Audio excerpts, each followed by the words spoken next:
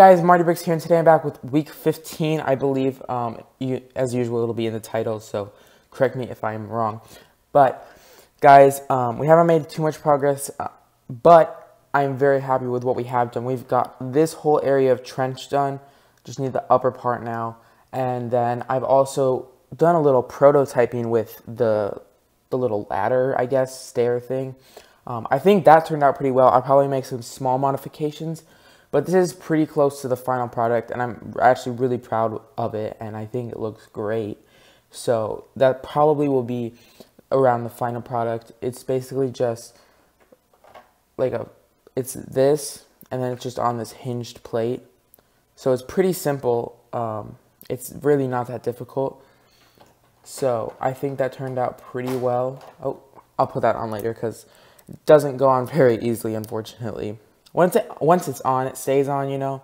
But but yeah, so I've again I've started playing around with this trench, and that's almost done. I just need a few more tiles and possibly another jumper for another minifigure.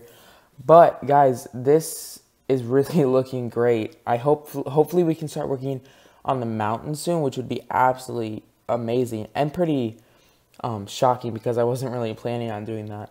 But if we could do that, that'd be really cool.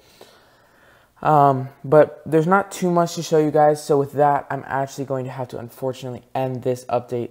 I know it's a really short one. Um, the last week's and this week's were pretty short, so I do apologize. There haven't hasn't haven't I can't talk. There haven't been too many um, changes or updates to the MOC. Um, but what we have done, I think it's pretty exciting. So with the trench, this is probably going to be my favorite part of the whole MOC. Like so far, it, it's looking amazing, and I, I can't wait to see what it's going to look like when it's done. But guys, like I said, this is going to have to end the video. So as usual, be sure to hit that like button if you enjoyed the video. And if you really enjoyed it and you want to stay tuned for more videos just like this one, be sure to hit that subscribe button. And guys, I will see you very, very soon in the next video.